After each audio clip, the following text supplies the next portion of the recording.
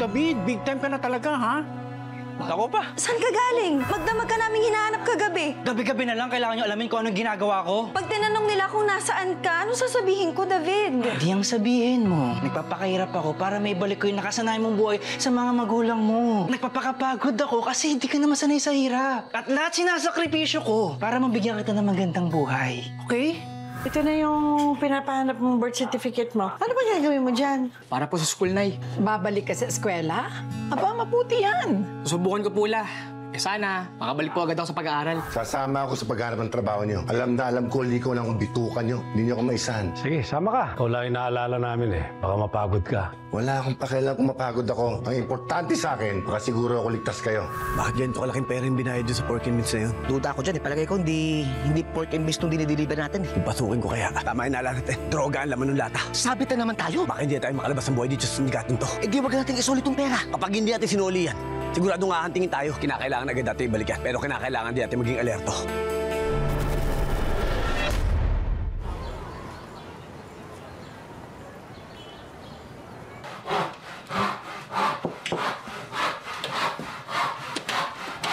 Hoy, dahan-dahan yung pagkapit na ito ha, mahal to.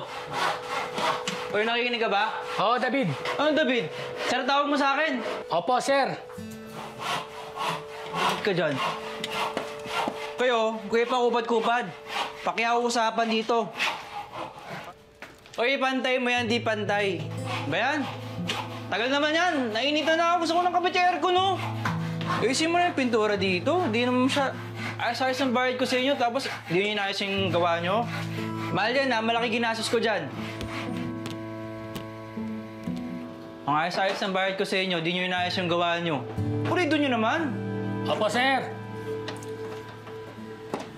Santino, wag mo na isipin yung bilyaran. Kami na bahala doon. Oo nga. Eh kung makapagtapos ka dyan, edi yayaman ka pa. Makakapagpatayo tayo ng maraming bilyaran, di ba? Oh, sa wag na wag mo gagayahin yan. Kasi nung dating nag-aaral yan, nang uri ng gagambay sa silong school nila. Ito? Ito na pala, oh. Hindi mo ha. Oh. Sige, pakisuot yung ID ha. ID ha. Eh, dito na kami sa Tino. Mukhang hindi kami pa pwede dyan. Oo nga. Antayin ka na lang namin dito. Ah, boss. Gandang umaga po. Tatanong lang po sana para sa enrollment. Sige, sa loob na lang. Salamat po. Boss, gandang umaga po. Pwede pa kaya ako mag-enroll?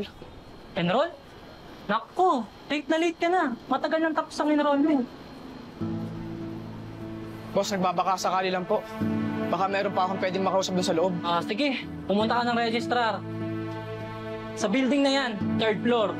Dumiretso ka, may hagdan doon. Makit ka. Sige po, boss. Salamat po. Okay, sige.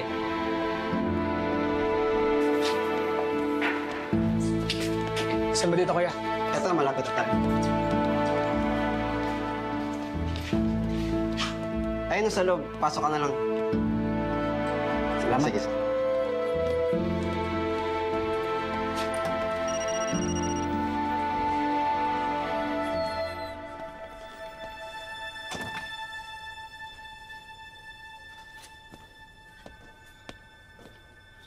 Ah, magandang umaga po, ma'am. Magandang umaga din. Ah, ma'am. Gusto ko po sana mag-enroll eh. Babalik po sana ako ng grade 8. Ma'am, ano po ba mga kailangan na requirements po? Ito lang po kasing kopya ng birth certificate ko yung dala ko, ma'am eh. Naku, Iho. Late na yung inquiry mo. Kung papasok ka ngayon, halos kalahati na nang hindi mo napasukan. Eh, ma'am, baka po may ibang paraan pa po para makapasok po ulit ako. Gusto ko na po talaga ulit mag-aaral, ma'am eh. Mabuti yan at meron kang interes magbalik eskwela. Pero pasensya ka na talaga. Sa ngayon, hindi ka talaga pwede. Kung gusto mo, bumalik ka na lang sa susunod na school year. Salamat po, ma'am.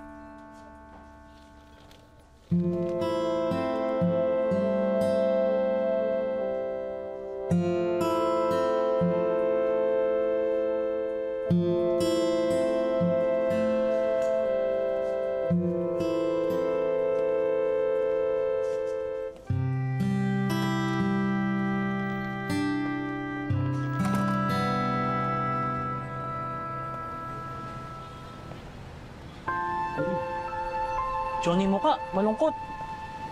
Ano nangyari? Tara, tanongin natin. Oh, tol. Ayos ka lang? Oh, Santino, ano sabi sa'yo? Nakapag-enroll ka ba? Hindi. Masyado na raw akong late eh. Naku, Hayaan mo na. Tara, gusto mo, libre ka na lang namin ng kwek-kwek? Para gumaan yung pakiramdam mo. tara, huwag ka na malungkot. Tara, tara, tara. May alam ako doon, mas makapal yung harina kaysa sa itlog. Tara. Ito na yung bayad ko. Oh. Salamat, sir. Ito pang merienda nyo na ha. Sa inyo na yan. Salamat. Salamat, sir. Sa ulitin, sir. Ano pinaantay mo?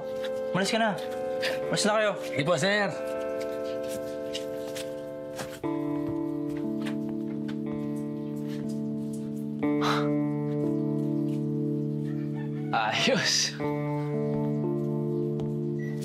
Ay.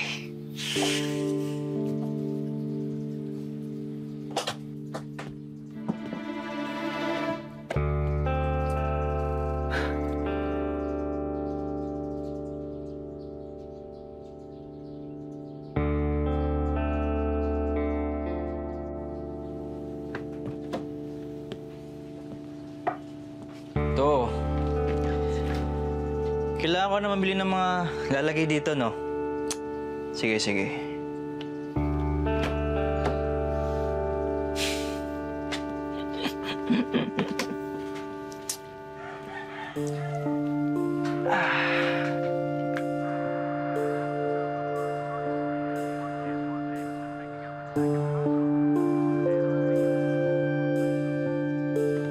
Ano ba to? Di masara?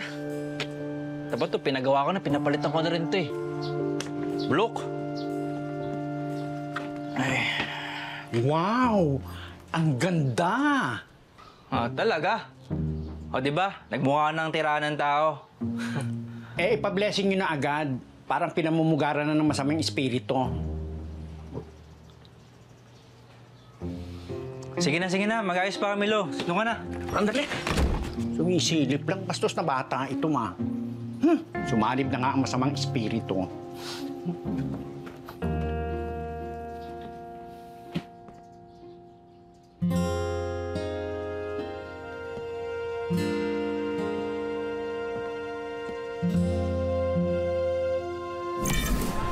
Saan na ba yun? Ayun! Paring Dos! Oh, Lucio! Kumusta? Tumataba ka, pare! Ah, himala! Di ka pa nakukulong? Gago! Wala biro to kumpare ko eh. Oh, anong masamang hangin at napadpad kayo dito? Pare, naalala ko kasi, sabi mo noon, kapag may kailangan ako, puntahan kita. Eh, pare, kailangan namin ng trabaho eh. Ganun ba? Saglit lang ha, papaalam po nun sa may-ari. Sige, sige, salamat. O, baka pwede tayo dito. Tara, tara, tara. Okay to ah, Dos. Oh, mga stereo. Oo, pwede kami dito. Oo. Ha? Boss, boss. Oh, Dos, bakit? Boss, pala yung mga gusto magtrabaho sa atin. Baka sakali, pwede. Dito man na sila sa atin. Mga dati ko kasamahan. Ito mga to? Eh, parang ang tatandaan na itong mga to ah. Kaya niyo pa bang magtrabaho? Sir, matanda lang kami sa itsura. Pero yung mga likod at tuhod namin, malakas pa, kaya kayang-kaya namin ang trabaho. Ganun ah. Kahit na.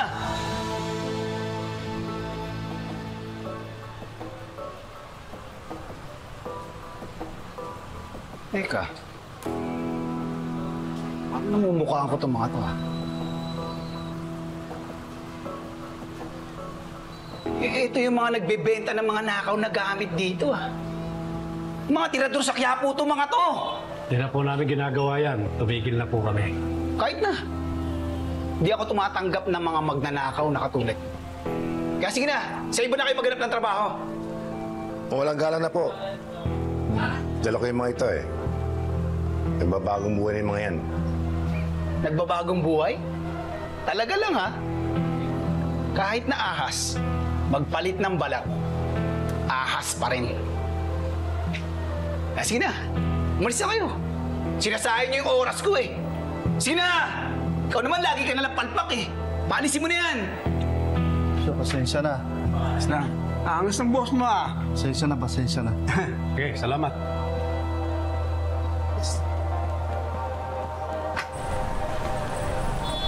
Sige pre. Ay, pasensya na. Sige na. Salamat. Pasensya na. Ah, ah, ah, ah. Mukhang ang hirap magbagong buhay. Sinabi mo pa, Lucio. Sana pag nauunahan, mapahusgang tao. Ay. Eh, paano? Wala kayong ginawa nung araw kundi gumawa ng krimen. Siguro nung bata kayo, wala kayong nakikita sa mundong ito kundi kalokohan at kasamaan. Kung sinubukan na magbagong buhay nung araw, hindi sana kayo nagkakaganito eh. Masisisi mo kami kung tumanda kami ng ganito. Eh noon pa naman eh, wala nang tumatanggap sa amin dahil hindi kami nakatapos. Sinubukan namin, pero hindi binigay sa amin. Kaya simula noon, wala na kaming ginawa, kundi magnakaw, karnap, pero sinubukan namin magbagong buhay. Hanggang ngayon, pinipilit pa rin namin magbago. Pero nakamarkahan kami ng masama. Kaya nagpatuloy na lang kaming masama.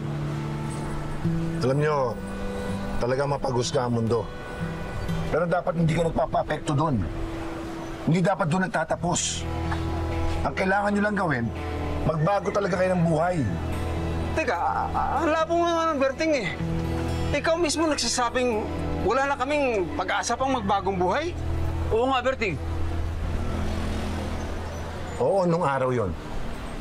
Pero nung nakita ko kitang gulat sa inyo, nabuo ang loob nyo para magbagong buhay.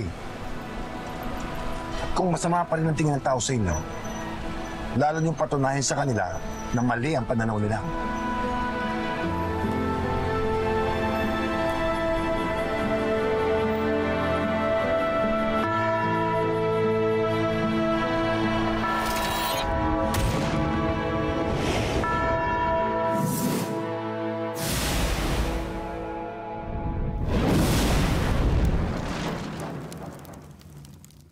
Kapag na-miss pwedeng balikan. Pwedeng panoorin ang videos at playlists na gusto mo. Like, comment, at ishare ang videos kasama ng lumalaki nating pamilya sa online world.